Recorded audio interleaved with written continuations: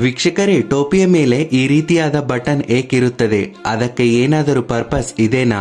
And hero ಹೀರೋಯಿನ್ಗಳು ಸಿನಿಮಾದಲ್ಲಿ ಬಳಸಿದ ಬಟ್ಟೆಗಳನ್ನ ಹಾಗೂ ಕಾಸ್ಟ್ಯೂಮ್ಗಳನ್ನ ನಂತರ ಏನು ಮಾಡಲಾಗುತ್ತದೆ? ಹಾಗೆಯೇ ವೀಕ್ಷಕರೇ, ಚಿಕನ್ ಅನ್ನ ವಿತ್ ಸ್ಕಿನ್ ಮೂಲಕ ತಿಂದರೆ ಒಳ್ಳೆಯದಾ ಅಥವಾ ವಿತೌಟ್ ಸ್ಕಿನ್ ಮೂಲಕ ತಿಂದರೆ ಒಳ್ಳೆಯದಾ? ಹಾಗೂ ಚಿಕನ್ ಅನ್ನ ಫ್ರಿಜ್ ಅಥವಾ ರೆಫ್ರಿಜರೇಟರ್ನಲ್ಲಿ ಇಡಬಹುದಾ? ಇಂತಹ ಕೆಲವು ಇಂಟ್ರೆಸ್ಟಿಂಗ್ ವಿಚಾರಗಳನ್ನ ಇಂದಿನ ವಿಡಿಯೋದಲ್ಲಿ ತಿಳಿದುಕೊಳ್ಳೋಣ. So let's get in to the video fact number one ವೀಕ್ಷಕರೇ ಇಯರ್ಫೋನ್ನ ಕೆಳಗೆ ಈ ರೀತಿಯಾದ ಎರಡು ಹೋಲ್ಗಳಿರುತ್ತವೆ ಆದರೆ, ತುಂಬಾ ಜನ ಅವುಗಳನ್ನ ಮೈಕ್ರೋಫೋನ್ ಎಂದುಕೊಳ್ಳುವರು. ಅಂದರೆ ನಾವು ಫೋನ್ನಲ್ಲಿ ಮಾತನಾಡುತ್ತಿರುವಾಗ ನಮ್ಮ ವಾಯ್ಸ್ ನಮ್ಮ ಜೊತೆ ಮಾತನಾಡುತ್ತಿರುವವರಿಗೆ ಕೇಳಲು ಎಂದು ಅಂದುಕೊಳ್ಳುವರು.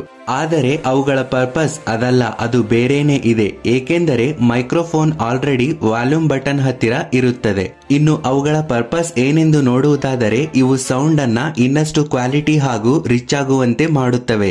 ಇಯರ್ಫೋನ್ಸ್ ಒಳಗಡೆ ಚಿಕ್ಕ ಸ್ಪೀಕರ್ಗಳು ಇರುತ್ತವೆ. ಈ ಸ್ಪೀಕರ್ಸ್ಗಳು ಒಂದು ಎಲೆಕ್ಟ್ರೋ ಮ್ಯಾಗ್ನೆಟ್ ಮೂಲಕ ವೈಬ್ರೇಟ್ ಆಗುತ್ತಿರುತ್ತವೆ.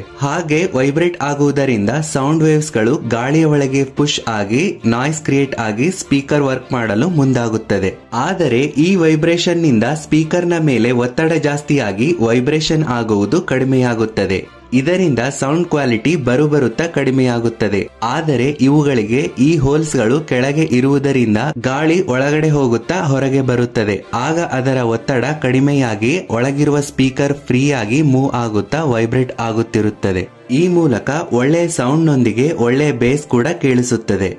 Fact number two. ವೀಕ್ಷಕರೇ, ನಿಮಗೆ ಎಂದಾದರೂ ಈ ರೀತಿಯಾದ ಡೌಟ್ ಬಂದಿದೆಯಾ? ಯಾಕೆ ವಾಟ್ಸಪ್ ಫೇಸ್ಬುಕ್, ಇನ್ಸ್ಟಾಗ್ರಾಮ್ ಮೊದಲಾದ ಸೋಷಿಯಲ್ ಮೀಡಿಯಾಗಳ ಪ್ರೊಫೈಲ್ ಪಿಕ್ಚರ್ ಕೇವಲ ರೌಂಡ್ ಶೇಪ್ನಲ್ಲಿ ಕಾಣುತ್ತವೆ ಎಂದು? ಸ್ಕ್ವೇರ್ ಶೇಪ್ನಲ್ಲಿ ಯಾಕೆ ಇರುವುದಿಲ್ಲ ಎಂದು ಅನಿಸಿದೆನಾ? ಆಕ್ಚುಲಿ, ಎರಡ್ ಸಾವಿರದ ಹದಿನೇಳಕ್ಕಿಂತ ಮುಂಚೆ ಇನ್ಸ್ಟಾಗ್ರಾಮ್ನಲ್ಲಿ ಪ್ರೊಫೈಲ್ ಪಿಕ್ಚರ್ಸ್ಗಳು ಸ್ಕ್ವೇರ್ ಶೇಪ್ನಲ್ಲಿ ಇದ್ದವು. ಆದರೆ ನಂತರ ಸರ್ಕಲ್ ಶೇಪ್ನಲ್ಲಿ ಬಂದವು. ಆನಂತರ ಫೇಸ್ಬುಕ್ ವಾಟ್ಸಪ್ ಆಪ್ಸ್ಗಳು ಕೂಡ ಇನ್ಸ್ಟಾಗ್ರಾಮ್ ಅನ್ನ ಫಾಲೋ ಆದವು. ಹೀಗೆ ರೌಂಡ್ ಶೇಪ್ನಲ್ಲಿರಲು ಕಾರಣವೇನೆಂದರೆ ಪ್ರೊಫೈಲ್ ಪಿಕ್ಚರ್ನಲ್ಲಿ ಯೂಸರ್ಸ್ಗಳ ಫೇಸ್ ಅನ್ನ ಎಲ್ಲರ ದೃಷ್ಟಿಯಲ್ಲಿ ಫೋಕಸ್ಡ್ ಆಗಿ ಅವರ ಮೈಂಡ್ನಲ್ಲಿ ಫಿಕ್ಸ್ ಮಾಡಲು. ಅದೇ ಸ್ಕ್ವೇರ್ ಶೇಪ್ ನಲ್ಲಿರುವ ಪಿಕ್ಚರ್ಗೆ ಈ ರೀತಿಯಾದ ಕಾರ್ನರ್ಗಳಿರುವುದರಿಂದ ಯೂಸರ್ಸ್ ಅಟೆನ್ಷನ್ ಸರಿಯಾಗಿ ಆಗುವುದಿಲ್ಲ. ಅದೇ ರೌಂಡ್ ಶೇಪ್ನಲ್ಲಿ ಇದ್ದರೆ ಫೇಸ್ನ ಎಕ್ಸ್ಪ್ರೆಷನ್ಸ್ ಗಳೆಲ್ಲ ಫೋಕಸ್ಡ್ ಅಂಡ್ ಅಟೆನ್ಷನ್ ಆಗಿ ಕರೆಕ್ಟ್ ಆಗಿ ಕಾಣುತ್ತವೆ ಎಂಬ ಉದ್ದೇಶದಿಂದ. ಸರ್ಕಲ್ ಶೇಪ್ನಲ್ಲಿ ಅದರ ಸೆಂಟರ್ನಿಂದ ಸುತ್ತಲೂ ಸಮಾನವಾದ ಅಂತರವಿರುತ್ತದೆ, ಆದರೆ ಸ್ಕ್ವೇರ್ ಶೇಪ್ನಲ್ಲಿ ಆಗಿರುವುದಿಲ್ಲ. ಡಯಾಗ್ನಲ್ಸ್ಗಳಲ್ಲಿ ಸ್ವಲ್ಪ ಅಂತರ ಹೆಚ್ಚಿದ್ದು ಪ್ರೊಫೈಲ್ ಪಿಕ್ಚರ್ ಅನ್ನ ನೋಡಬೇಕೆಂದರೆ ನಮ್ಮ ಕಣ್ಣುಗಳು ಇಡೀ ಇಮೇಜ್ ಅನ್ನ ಚೆಕ್ ಮಾಡಬೇಕಾಗುತ್ತದೆ. ಅದೇ ರೌಂಡ್ ಶೇಪ್ನಲ್ಲಿ ಇದ್ದರೆ ಸಾಕು. ಪಿಕ್ಚರ್ ನಲ್ಲಿರುವುದು ಪ್ರತಿಯೊಂದು ಡೀಟೇಲ್ ಆಗಿ ಹಾಗೂ ಫೋಕಸ್ಡ್ ಆಗಿ ಕಾಣುತ್ತದೆ. Fact number three. ವೀಕ್ಷಕರೇ ಯೂಟ್ಯೂಬ್ ನಲ್ಲಾಗಲಿ ಅಥವಾ ಇತರೆ video streaming website ಗಳಲ್ಲಾಗಲಿ three sixty p seven twenty p or thousand eighty p ಹೀಗೆ ಈ ವಿಧದಲ್ಲಿರುತ್ತವಲ್ಲವಾ? ಅವುಗಳ ಅರ್ಥವೇನು? ಆಕ್ಚುಲಿ ಇವು ಅಡ್ಡವಾಗಿ ಸ್ಕ್ರೀನ್ ಮೇಲೆ ಇರುವ ಲೈನ್ಸ್ಗಳ ಬಗ್ಗೆ ತಿಳಿಸುತ್ತವೆ.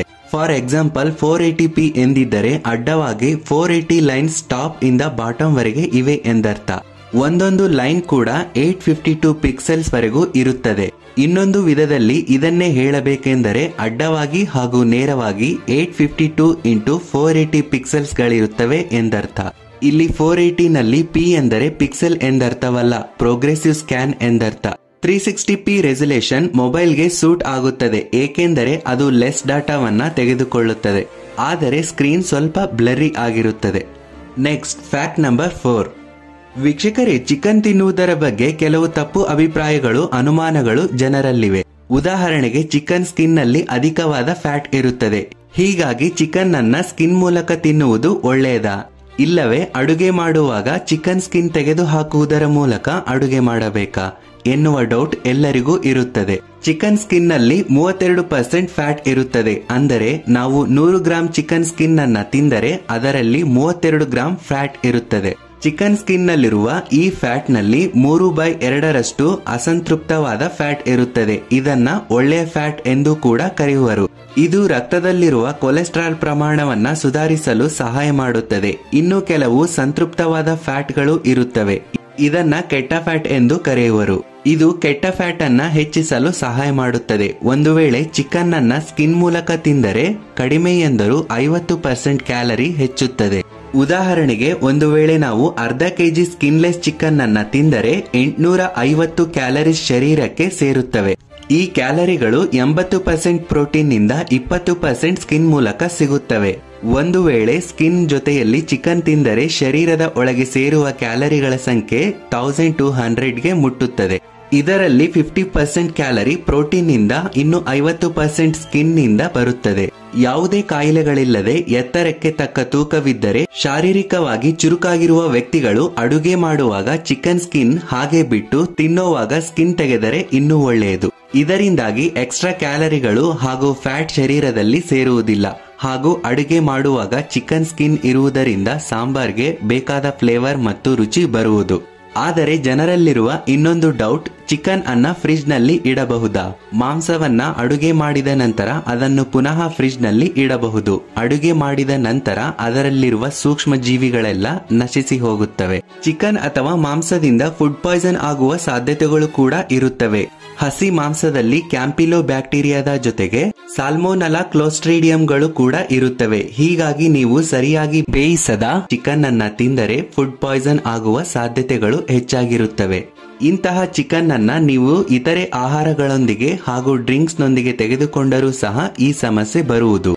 ಹಾಗೆಯೇ ಸಾಂಬಾರ್ ಮಾಡುವ ಮೊದಲು ಚಿಕನ್ ಅನ್ನ ತೊಳೆಯುವುದು ಪ್ರಮಾದಕರ. ಸಾಧಾರಣವಾಗಿ ಚಿಕನ್ ಅನ್ನ ಶಾಪ್ನಿಂದ ತಂದ ಕೂಡಲೇ ಫಸ್ಟ್ ಮಾಡುವ ಕೆಲಸವೇ ಅದನ್ನ ತೊಳೆಯುವುದು. ಆನಂತರವೇ ಅವರಿಗೆ ಬೇಕಾದ ಶೈಲಿಯಲ್ಲಿ ಅಡುಗೆ ಮಾಡಿಕೊಳ್ಳುತ್ತಾರೆ. ಆದರೆ ಹೀಗೆ ತೊಳೆಯುವುದರಿಂದ ಫುಡ್ ಪಾಯ್ಸನ್ ಕೂಡ ಆಗುವ ಅವಕಾಶಗಳು ಹೆಚ್ಚಾಗಿರುತ್ತವೆ. ಹೇಗೆಂದರೆ, ಮಾಂಸವನ್ನ ತೊಳೆಯುವಾಗ ಮಾಂಸದಲ್ಲಿರುವ ಬ್ಯಾಕ್ಟೀರಿಯಾ ನಮ್ಮ ಕೈಗಳಿಗೆ ತಾಕಿ ಅದು ನಮ್ಮ ಹೊಟ್ಟೆಯನ್ನು ಸೇರುವ ಚಾನ್ಸ್ ಇರುತ್ತದೆ. ಹೀಗಾಗಿ ಮಾಂಸವನ್ನ ತೊಳೆದ ನಂತರ ಒಳ್ಳೆಯ ಹ್ಯಾಂಡ್ ವಾಶ್ ಲಿಕ್ವಿಡ್ಗಳಿಂದ ಕೈಗಳನ್ನ ಹ್ಯಾಂಡ್ ವಾಶ್ ಮಾಡಿ ಆನಂತರವೇ ಬಟ್ಟೆ ಇಲ್ಲವೇ ಟೋವಲ್ಗೆ ಒರೆಸಿಕೊಳ್ಳಬೇಕು. ಫ್ಯಾಕ್ಟ್ ನಂಬರ್ ಫೈವ್ ವೀಕ್ಷಕರೇ, ಒಬ್ಬ ಬಿಗ್ ಸ್ಟಾರ್ ಮೂವಿ ಆದರೆ ಕಂಟೆಂಟ್ನ ಜೊತೆಗೆ ಹೀರೋಗೆ ಎಲಿವೇಶನ್ಸ್ ಹೀರೋ ಹೀರೋಯಿನ್ಗಳ ಮಧ್ಯೆ ಕೆಮಿಸ್ಟ್ರಿ ಹಾಗೆ ಡ್ಯಾನ್ಸ್ ಮೂಮೆಂಟ್ಸ್ ಸಾಂಗ್ಸ್ ಫೈಟ್ ಹೀಗೆ ಪ್ರತಿಯೊಂದು ಯಾವಾಗಲೂ ನೆನಪಿರುವ ಹಾಗೆ ಡಿಸೈನ್ ಮಾಡಲಾಗಿರುತ್ತದೆ. ಆದರೆ ಕೆಲವು ಮೂವೀಸ್ಗಳಲ್ಲಿ ಇವುಗಳ ಜೊತೆಯಲ್ಲಿಯೇ ಕಾಸ್ಟ್ಯೂಮ್ಸ್ಗಳನ್ನು ಸಹ ತುಂಬಾ ಯೂನಿಕ್ ಆಗಿ ಡಿಸೈನ್ ಮಾಡಲಾಗುತ್ತದೆ. ಅವು ಟ್ರೈಲರ್ ಟೀಸರ್ ಫಸ್ಟ್ ಲುಕ್ ರೂಪದ ಮೂಲಕ ಹೊರಬರುತ್ತಿದ್ದಂತೆಯೇ ಮಾರ್ಕೆಟ್ನಲ್ಲಿ ಅದೇ ರೀತಿಯಾದ ಡೂಪ್ಲಿಕೇಟ್ ಬಟ್ಟೆಗಳು ಬರುತ್ತವೆ. ಇದರಿಂದಾಗಿ ಫ್ಯಾನ್ಸ್ಗಳು ಅವುಗಳನ್ನ ಕೊಂಡುಕೊಳ್ಳಲು ಮುಂದಾಗುತ್ತಾರೆ ಹಾಗೂ ಅವುಗಳ ಕ್ರೇಜ್ ಆಗಿರುತ್ತದೆ. ಈ ಒರಿಜಿನಲ್ ಕಾಸ್ಟ್ಯೂಮ್ಸ್ ಗಳನ್ನ ಹೀರೋ ಹೀರೋಯಿನ್ಗಳು ಹಾಕಿಕೊಂಡು ಸಿನಿಮಾ ಶೂಟಿಂಗ್ ಕಂಪ್ಲೀಟ್ ಮಾಡಿದ ನಂತರ ಎಲ್ಲಿ ಹೋಗುತ್ತವೆ ಎಂದು, ಅವುಗಳನ್ನ ಏನು ಮಾಡುತ್ತಾರೆ ಎನ್ನುವ ಪ್ರಶ್ನೆಗಳು ಹುಟ್ಟುತ್ತವೆ. ಆದರೆ ಇವುಗಳಲ್ಲಿ ನಾರ್ಮಲ್ ಡ್ರೆಸ್ ಗಳನ್ನ ಆಡಿಯನ್ಸ್ ದೃಷ್ಟಿಗಳಲ್ಲಿ ಇರದೇ ಇರುವವುಗಳನ್ನ ಜೂನಿಯರ್ ಆರ್ಟಿಸ್ಟ್ ಗಳಿಗೆ ಯೂಸ್ ಮಾಡುವುದಕ್ಕಾಗಿ ಜಾಗೃತೆಯಿಂದ ಪ್ಯಾಕ್ ಮಾಡಿ ಮಾಲೀಕರೇ ಇರಿಸಿಕೊಳ್ಳುತ್ತಾರೆ. ಆದರೆ ಆಡಿಯನ್ಸ್ಗಳ ದೃಷ್ಟಿಯಲ್ಲಿ ಬಹಳಷ್ಟು ಟ್ರೆಂಡ್ ಆದ ಕಾಸ್ಟ್ಯೂಮ್ಸ್ ಗಳನ್ನ ಡಿಸೈನ್ ಮಾಡಿರುವ ಡಿಸೈನರ್ ಗಳೇ ಅವುಗಳನ್ನ ತಮ್ಮೊಂದಿಗೆ ಇರಿಸಿಕೊಳ್ಳುತ್ತಾರೆ. ಅವುಗಳನ್ನ ತಮ್ಮ ರೂಮ್ ಶೋಕೇಸ್ಗಳಲ್ಲಿ ಟಾಪ್ ಕಲೆಕ್ಷನ್ಸ್ ರೀತಿಯಲ್ಲಿ ಇಟ್ಟುಕೊಳ್ಳುತ್ತಾರೆ. ಈ ವಿಧಾನದಲ್ಲಿ ಡಿಸೈನರ್ಸ್ಗಳು ಹೆಚ್ಚಾಗಿ ಪಾಪ್ಯುಲರ್ ಟ್ರೆಂಡಿಂಗ್ ಆದ ಕಾಸ್ಟ್ಯೂಮ್ಸ್ ಗಳನ್ನ ತಮ್ಮ ಬಳಿ ಇಟ್ಟುಕೊಳ್ಳುವರು. ಆದರೆ ರೋಬೋ ಮೂವಿಯಂತಹ ಕೆಲವು ಮೂವೀಸ್ಗಳ ಕಾಸ್ಟ್ಯೂಮ್ಸ್ಗಳನ್ನು ಹರಾಜು ಹಾಕುವುದರ ಮೂಲಕ ಬಂದ ಹಣವನ್ನ ಒ ಅಥವಾ ಇತರೆ ಚಾರಿಟೀಸ್ಗಳಿಗೆ ಕೊಡುವರು. ಕೆಲವು ಬಾರಿ ಹೀರೋ ಹೀರೋಯಿನ್ಗಳಿಗೆ ಆ ಕಾಸ್ಟ್ಯೂಮ್ಸ್ಗಳು ತುಂಬಾ ಇಷ್ಟವಾಗಿದ್ದರೆ ಅವುಗಳನ್ನ ಒಂದು ಮೆಮೊರಿಯ ರೀತಿಯಲ್ಲಿ ತಮ್ಮ ಬಳಿ ಇಟ್ಟುಕೊಳ್ಳಲು ಮುಂದಾಗುವರು. ಇನ್ನು ಕೆಲವು ಕಾಸ್ಟ್ಯೂಮ್ಸ್ ರೀಮಾಡಿಫೈ ರಿಮಾಡಿಫೈ ಮಾಡುವುದರ ಮೂಲಕ ಬೇರೆ ಮೂವೀಸ್ಗಳಿಗೆ ಬಳಸಲು ಮುಂದಾಗುವರು. Fact number six. ವೀಕ್ಷಕರೇ, ಟೋಪಿಯ ಮೇಲೆ ಈ ರೀತಿಯಾದ ಚಿಕ್ಕದಾದ ಬಟನ್ ಇರುತ್ತದೆ. ಅದು ಯಾಕೆ ಇರುತ್ತದೆ ಎಂದು ನಿಮಗೆ ಎಂದಾದರೂ ಅನಿಸಿದೆಯಾ? ಅದಕ್ಕೆ ಏನಾದರೂ ಪರ್ಪಸ್ ಇದೇನಾ? ಆಕ್ಚುಲ್ ಆಗಿ ಇದಕ್ಕೆ ಹೆಸರು ಕೂಡ ಇದ್ದು, ಇದನ್ನೇ ಸ್ಕ್ವಾಚಿ ಎಂದು ಕರೆಯುತ್ತಾರೆ. ಟೋಪಿಯನ್ನ ನಾಲ್ಕು ಇಲ್ಲವೇ ಆರು ಭಾಗಗಳನ್ನ ಸೇರಿಸಿ ತಯಾರು ಮಾಡಲಾಗಿರುತ್ತದೆ. ಈ ಭಾಗಗಳೆಲ್ಲ ಟಾಪ್ನಲ್ಲಿ ಕೂಡಿರುತ್ತವೆ. ಹೀಗೆ ಅವು ಕೂಡಿದ ಜಾಗದಲ್ಲಿ ಖಾಲಿಯಾಗಿ ಬಿಟ್ಟರೆ ಆ ಭಾಗಗಳಲ್ಲಿ ಹೊಲಿಗೆ ಬಿಚ್ಚಿ ಹೋಗುವ ಸಾಧ್ಯತೆ ಇರುತ್ತದೆ ಮತ್ತು ನೋಡಲು ಕೂಡ ಅಷ್ಟು ಸುಂದರವಾಗಿ ಕಾಣಿಸುವುದಿಲ್ಲ. ಹಾಗಾಗಿ ಅವುಗಳಿಗೆ ಆ ರೀತಿಯಾದ ಬಟನ್ ಏರ್ಪಡಿಸಲಾಗಿರುತ್ತದೆ. ಆಗ ನೋಡಲು ತುಂಬಾ ಪರ್ಫೆಕ್ಟ್ ಆಗಿ ಕಾಣಿಸುತ್ತದೆ. ಸೊ ವೀಕ್ಷಕರೇ, ಇದು ಇಂದಿನ ಮಾಹಿತಿ. ಈ ವಿಡಿಯೋ ನಿಮಗೆ ಇಷ್ಟವಾಗಿದ್ದಲ್ಲಿ ಲೈಕ್ ಶೇರ್ ಕಾಮೆಂಟ್ ಮಾಡುವುದರ ಮೂಲಕ ಈ ಚಾನಲ್ ಅನ್ನ ಸಬ್ಸ್ಕ್ರೈಬ್ ಮಾಡಿಕೊಳ್ಳಿ. ನಮಸ್ಕಾರ.